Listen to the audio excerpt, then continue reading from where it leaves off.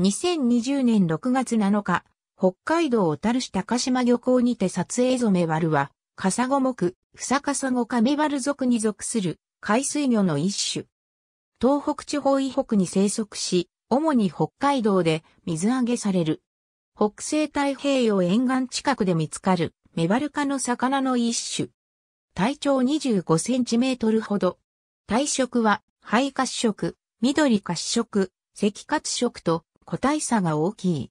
メバルとよく似ているが、おひれ公園部が白色であることと、下顎に鱗がない点で異なる。日本では東北以北に分布し、北海道から岩手県にかけての岩礁域に生息する。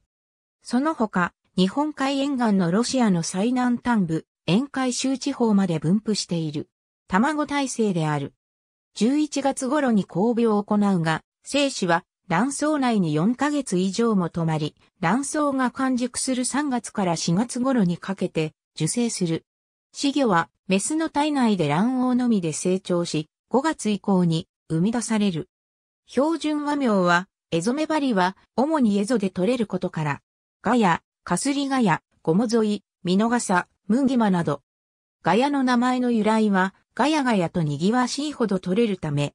旬は秋から冬だが、漁獲時期そのものは4月から6月、10月から12月である。釣りや定置網漁、刺し網漁などで漁獲される。北海道では、襟裳岬以西の太平洋、日本海、オホーツク海沿岸、特に尻部市地方のスッツ、島巻沿岸で取れる。混獲される場合も多い。